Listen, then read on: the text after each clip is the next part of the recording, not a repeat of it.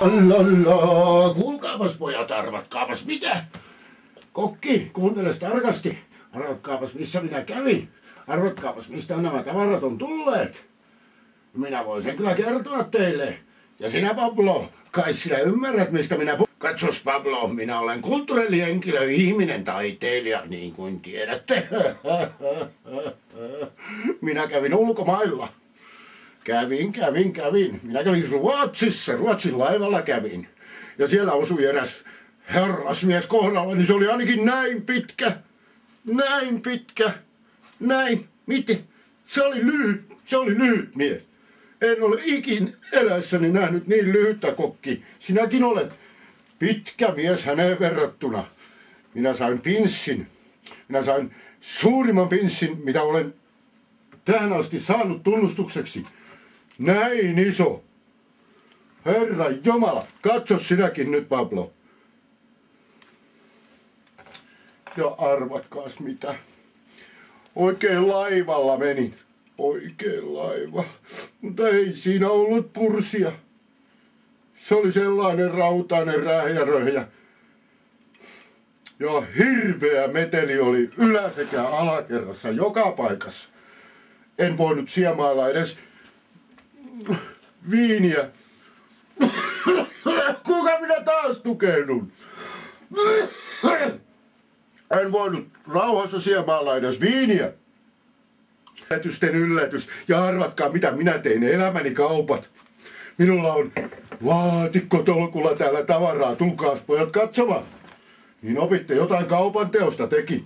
Nämä ovat hienoja. Minä kyllä tiedä oikein mitä nämä on. Pa, olisiko tämä pankki? Puh, pape telefonesin. Siinä lukee telefone. Hm. En minä tiedä, mutta paljon niitä ainakin on.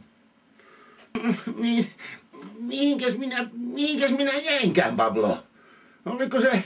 Ää, ai, Turkanen, Turkanen. Niin olikin. Olin, olin juuri esittelemässä sinulle.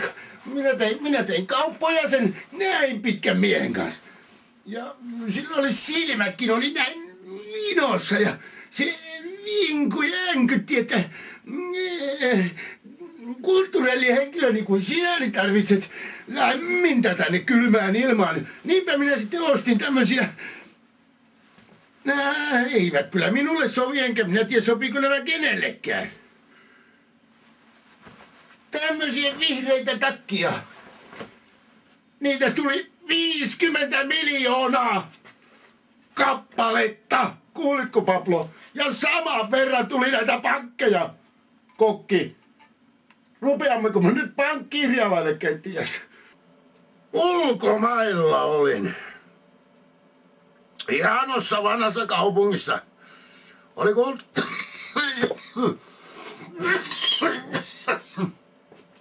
oli kulttuurillisia väkeä, väkeä liikkeellä. Hienoja daameja oli. Ja minun kittuileni kuseksi vielä koiria. Niitä oli myös. Minun täytyy lämmittää illalla sauna. Vai lämmittäisitkö sinä sen minulle kokki kenties? Muistat, Muistatko viimeksi kun lämmitit? Paloi poroksi koko par... Koko, koko... Se paloi koko helahoito. En paremmin sano. Meiltä meni kaksi kesää, kun rakensimme uuden saunan. Ja monta kottikärryllistä multaa. Ja savea. Ei ollut puutakaan tarpeeksi. Sinä poltit kokki kaikki. Joudumme kaivamaan kuopan syvän kuopan. Meillä on nyt maasauna. Ja minä nyt taas aion ottaa vähän rennommin pojat pitkän raskaan reisun jälkeen. Uskotteko? Mutta oli siellä kaunis nainen, herra Jumala, että oli daami, oli kaunis daami. Hmm. Hmm.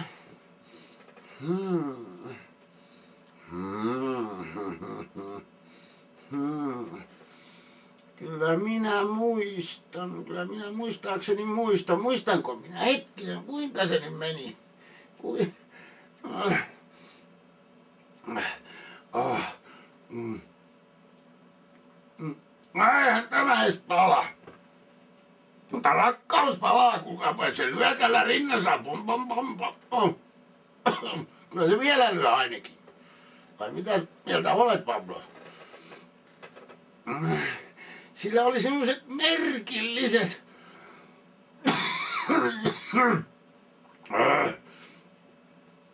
merkilliset kengät jalassa. Muistan joskus, kun oli juoksukilpailussa poikasena. Kuunteletko sinä minua, Pablo? Meillä oli jalassa semmoiset, kun niitä sanottiin piikkareiksi. No minä kysyin tältä neidiltä sitten tää rouvalta, mikä hän oli daamilta, että miksi näitä jalkineita sanotaan, joita te käytätte niin kernaasti? Hän vastasi minulle, kuunteles, kuunteles tätä kokki. Hän vastasi, että ne ovat piikkarit. Ajatella, minä sanon, piikkarit. Eihän niillä ole kenkien kanssa mitään tekemistä, eikä ne muistuttaneet minun nuoruuteni piikkareita lainkaan. Ei lainkaan. Voi. No sitten minulle tuli, kun kuulkaas tämä, tämä kyllä reissussa on kiva olla. Sieltä tulee kaiken näköisiä muistoja. Kuunnelkaas tämä vielä, pojat. Kokki takaisin. Älä, älä mene nyt mihinkään. Ja Pablo kanssa istu siinä, niin kun, kun, kun tuota, minun rupesi niin vatsaani hiukomaan siellä pitkällä kierroksella museoissa ja missä kaiken maailman paanoissa me pyörimmekään. Baariin emme menneet, emme, emme, toki emme baariin menneet. Minua rupesi hiukasemaan ja tuntui, että jo vähän nälättikin. Olin kuullut, että Ruotsissa on paljon työttömiä ja siellä ne jakaa semmoista helvetin pahalle haisevaa jotain nössöä, sanovat sen kalasta tehneen.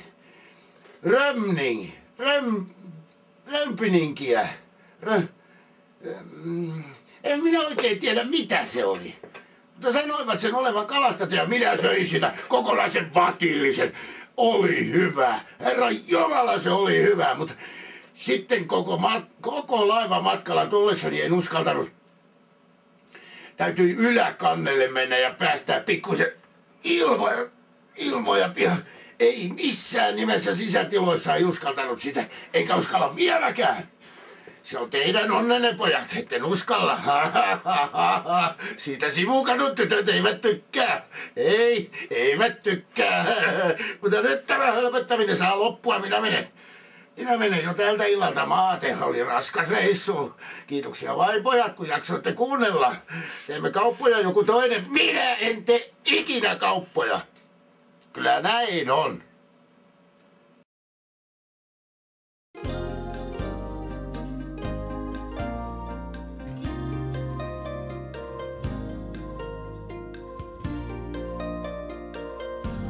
Muistakaa nyt kun veneilette ne turvaliivit.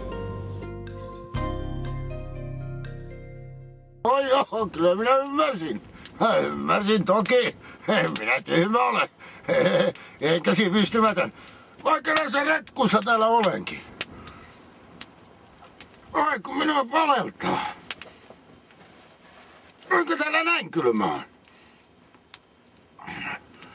Kun en kerran saanut unta, niin voisin kertoa teille, että kun kerrankin oli oikein kylmä.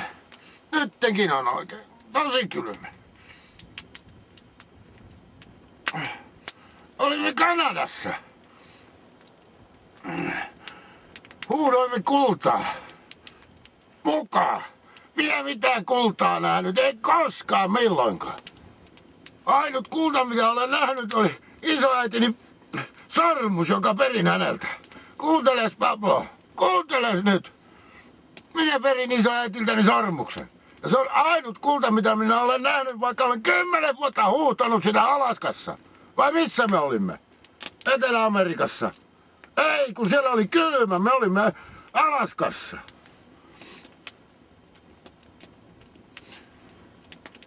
Ja joku sanoi, että äh, joku Svenssoni vai mikä Ristofsson se oli, joku sellainen. Auto nimi kuitenkin, miehelle. rämmimme viikkotolkulla umpihangessa. Koirat jäätyi, me söimme ne. Pakko oli syödä. Nälkä tuli. Ei ne kestäneet sitä. Meidän piti oli pakko kestää. Vihdoin kun olimme päässeet Alaskan, me olimme tarponeet yli tuhat kilometriä.